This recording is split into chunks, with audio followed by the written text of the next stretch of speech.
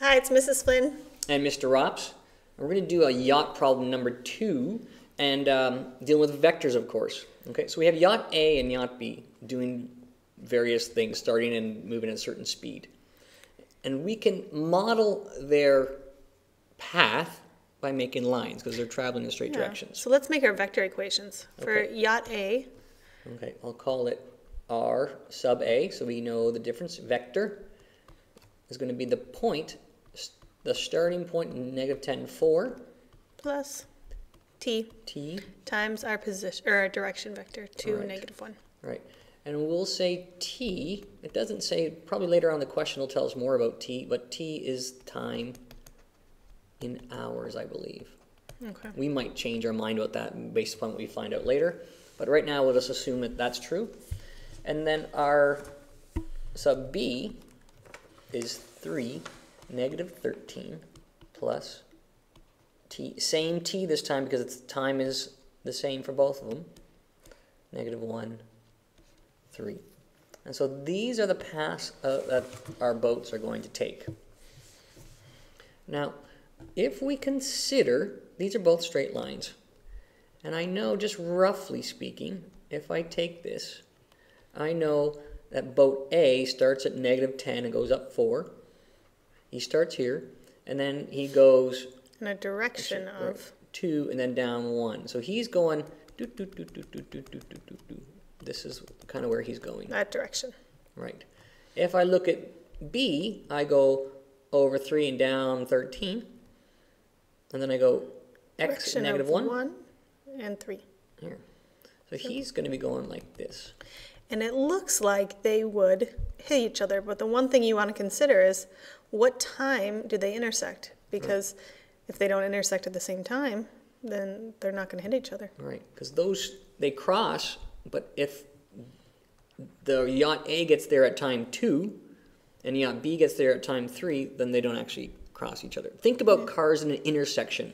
Cars cross intersections all the time, um, but they don't, they don't hit each other. They, they go through at different times. That's because we have stoplights, Mr. Roberts. True. It forces us to stop. All right, so here are our vector equation. That's what's going on. Let's go to the next scenario, next part of the question. Oh, the next part of the question. Here it is.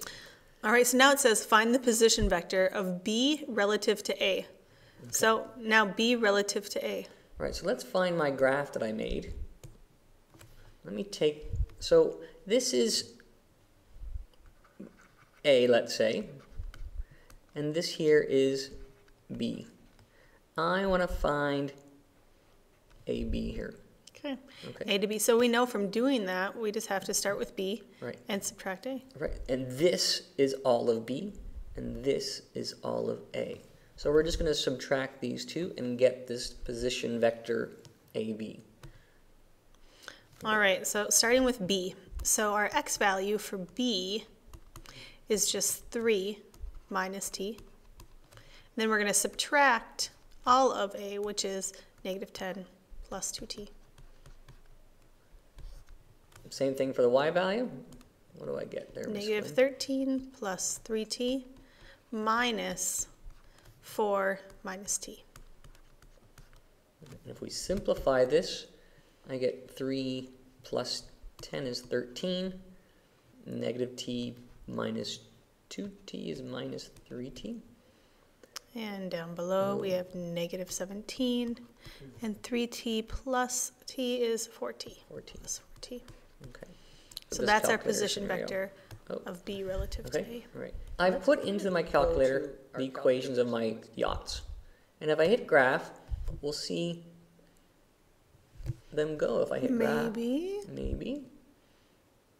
Why are you not going, graph?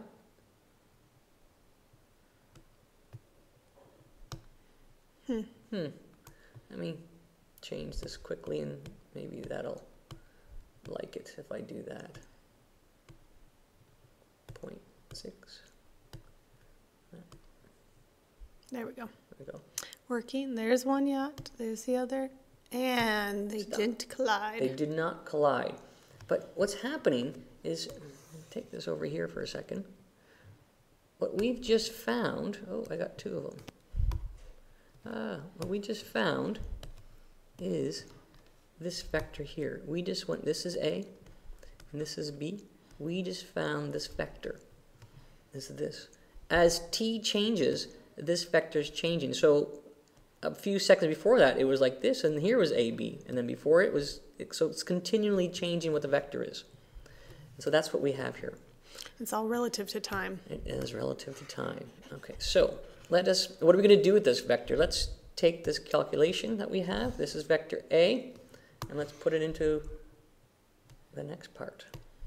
It says use the results from 3 to show that if d is the distance between the yachts at any time t, then the distance squared equals. Okay, so let's pull all this stuff up so we can see it. Oh, and my equal sign, that's okay.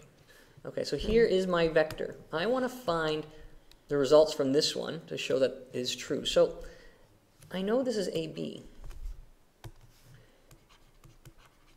which is talking about that vector A to B.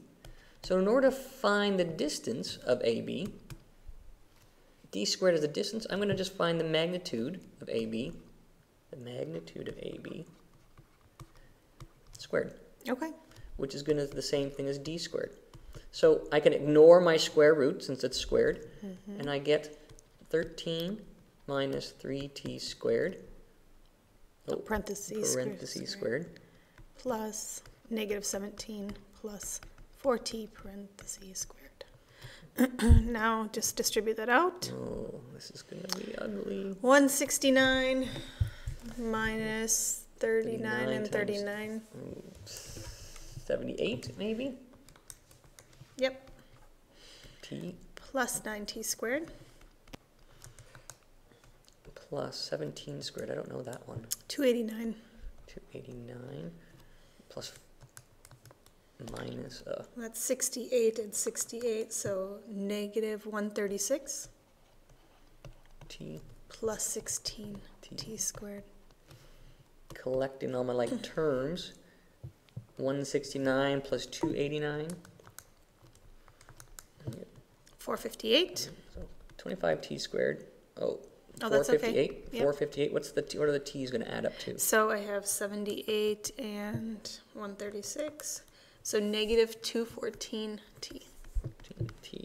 And if we're really lucky and we didn't make any arbitrary mistakes, it is the same as what we were asked to find. That's what I like when they do that with the IB problems is they tell you what they want you to find. So you work through the problem and it's a good way to check yourself. It is. It's like having the answers at the back of the book right there in front of you. Yeah.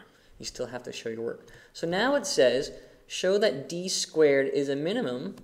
Oh, Cub Scout camping for me this weekend. show that d squared is a minimum when t is 4.28. So d squared, minimum. Oh, Minimum. Minimum, Hmm, There's so hmm. many different ways we can do that. right. I can think of three off the top of my head. Well, we could find the vertex, right? That's one way. Because this here is a quadratic. So our first option is we could find the vertex. And we know that is x equal to minus b over 2a. I guess it's t for us, this problem. The other way we could do it, that's another way we could do it.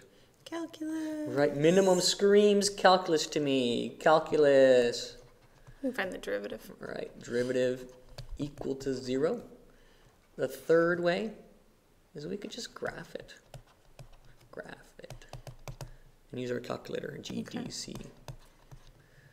All So either one of those ways. Mhm. Well, I'm feeling like I haven't done calculus for a while, so let me find the derivative of this. So I'm going to find the derivative of d squared dt.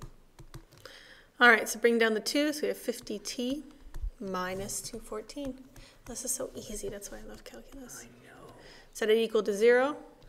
And t, oh, there's my, high, my, my there it is. equal sign from Per- before. lined up perfectly. So t equals 214 divided by 50. 50, 4.28. which is 4.28.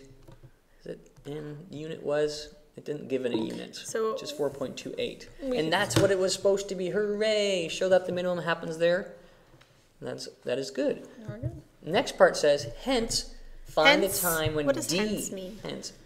Hence means you have to use the previous information. You have no choice, but you have to refer somehow to this question. Okay. Right, Sorry. So find a time when d is a minimum, and then find the shortest distance. Well, if d is a minimum, let's think about this for a second. If d squared equals a quadratic, right? Equal to quadratic, and it was a minimum value here at this time t, then d is just the square root of that. And so it will always be some other curve, but it will won't be the same y values, but this will still be a minimum at the same time. So the minimum for d is also going to be when t equals 4.28.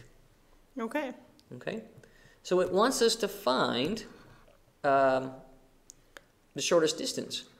Well, if the shortest distance happens at 4.28, then, well, and d squared equals, oh, what did it equal?